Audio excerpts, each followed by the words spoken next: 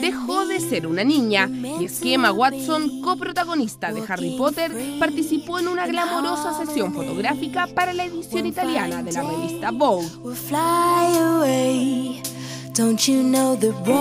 Con solo 18 años, Emma posó con total naturalidad, vestida como princesa de cuentos, con un palacio como escenario de fondo.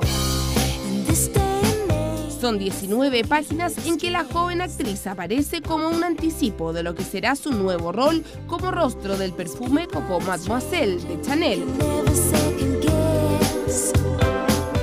Watson se lució ante las cámaras con vestidos de Versace, Chanel y Armani y señaló que a pesar de su carácter de celebridad, quiere seguir con una vida lo más normal posible.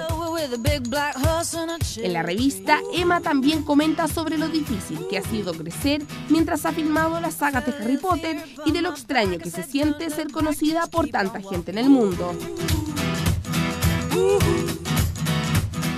Una fama que está lejos de terminar, considerando que aún no se estrenan las últimas películas del mago adolescente.